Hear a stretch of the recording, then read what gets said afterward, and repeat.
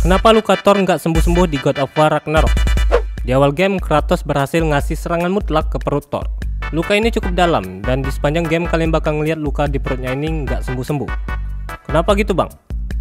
Nggak ada jawaban pasti, tapi ada beberapa teori yang nyambung nih. Kalau dalam mitologi asli, Thor mati sama racun Jomungandr. Nah, di God of War 2018, Kratos pernah lempar Leviathan X ke arah Jomungandr. Inilah yang mungkin bikin Leviathan X punya racun yang bikin luka nggak bisa disembuhin. Kemudian Leviathan X juga dibikin khusus buat counter Thor. Jadi kekuatan Thor nggak mampu nyembuhin dirinya. Terakhir, Thor ini memang nggak punya kekuatan regenerasi. Gigi Thor aja bisa copot. Jadi masuk akal kalau lukanya nggak sembuh-sembuh dalam waktu cepat. Itulah